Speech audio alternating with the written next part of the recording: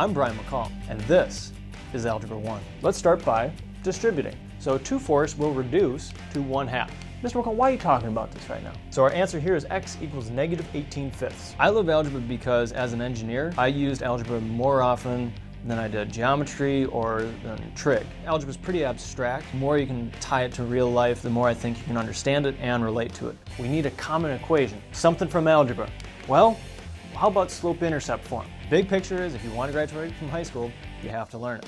So grab your pencils and let's get started. One of the toughest things about algebra is knowing where to start. So through my course, I'm going to cover some questions that are probably going to give you fits on your homework. I definitely was very careful when I selected the problems. I said, what are the ones that students are going to struggle with? What are they going to make mistakes on? I would say the key elements first is solving.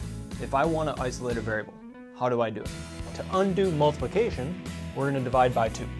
The second one would be uh, linear equations y equals mx plus b. Rational expressions, kind of factoring, you know, FOIL, factoring trinomials, definitely quadratics. The last bit of interesting news about the quadratic formula is that it gives us the discriminant. In the back of my mind, I'm saying, you've already seen this, but how can I make it more interesting for you? How can I show you why you're learning it? How could you apply it to something that you use every day? So parabolas are all over life. When you're walking down the street, you probably see a couple parabolas here or there. Algebra really, it's a, it's a pyramid, and more than kind of geometry. Geometry is kind of here and there, and you can connect some stuff, but algebra just builds on itself. Um, what we did the day before has something to do with what we're doing today and what we're going to do tomorrow.